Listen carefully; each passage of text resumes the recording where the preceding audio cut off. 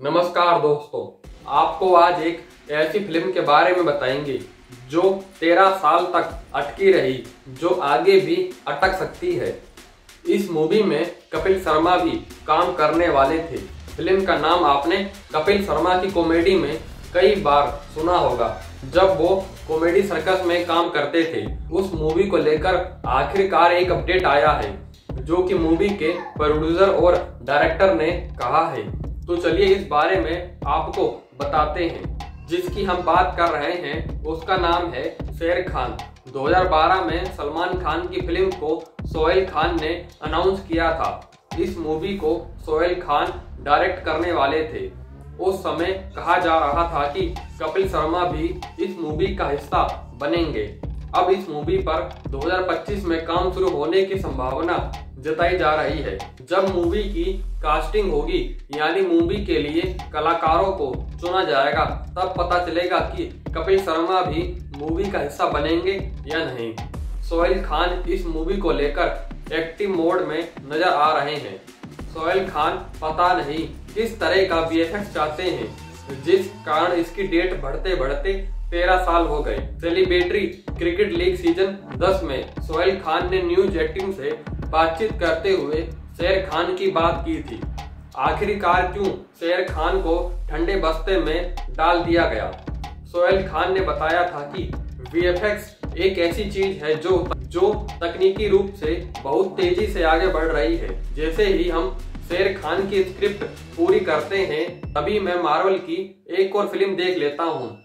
ऐसे में मैंने जो लिखा है और जिस तरह का एक्शन हम चाहते हैं, वो मुझे बहुत बैकवर्ड लगने लग जाता है।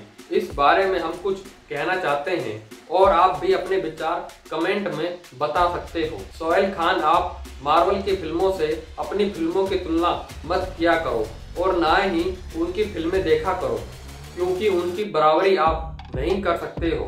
अगर आपको अपनी स्क्रिप्ट बैकवर्ड लगने लगती है तो आपका विजन दूरदर्शी नहीं है, क्योंकि मार्वल तब से न जाने कितनी फ़िल्में बना चुका है। अगर वो भी आपकी तरह सोचने लग जाएँ और अन्य फ़िल्म बनाने वाले डायरेक्टर सोचने लग जाएँ तो मार्केट में फ़िल्में आनी ही बंद हो जाएँगी। सोहेल खान का कहना है कि बीते कुछ वक्त में उन्होंने हॉलीवुड सुपर हीरो फ़िल्मों का फॉर्मूला क्रैक कर लिया है। फैंटेसी एक्शन एडवेंचर फ़िल्मों से दर्शकों को बांधना और बॉक्स ऑफ़िस पर मोटी कमाई करना अच्छी तरीके से सीख लिया है। सोहेल खान आगे कहते हैं कि कोई ऐसी चीज़ बनाने के बारे में सोचने का डर जो तीन साल बाद रिलीज़ होगी, यह एक ऐसी चीज़ है जिसे मुझे समझने और सीखने की ज़रूरत है। मुझे एहसास हुआ कि मुझे कुछ ऐसा सोचना पड़ेगा जो फ्यूचर हो, वर्तमान नहीं। ठीक यहीं पर मार्बल और डीसी फ़िल्में स्कोर करती हैं। वो ऐसी चीज़ें करते हैं जो होने वाली होती हैं। हमारा एक्शन ह्यूमन वाला है। तो हम जब टेक्नोलॉजी पर आधारित एक्शन करते हैं तो चूक जाते हैं। हम सिर्फ़ अभी के बारे में सोचते हैं। जबकि बाकी दुनिया आगे बढ़ रही है। इसी बातचीत में सोहेल खान ने यह कंफर्म किया है कि वो शेर खान को वापस ट्रैक पर लाना चाहते हैं, जहाँ तक हो सकता है 2025 में फ़िल्म बननी शुरू हो जाएगी। इस खबर से सलमान खान के फैंस में खुशी की लहर दौड़ सकती है, क्योंकि फ़िल्म काफ़ी समय से अटकी हुई थी। इस बारे में आपके क्या विचार हैं, हमें कमेंट में ज़रूर बताना। धन्यवाद।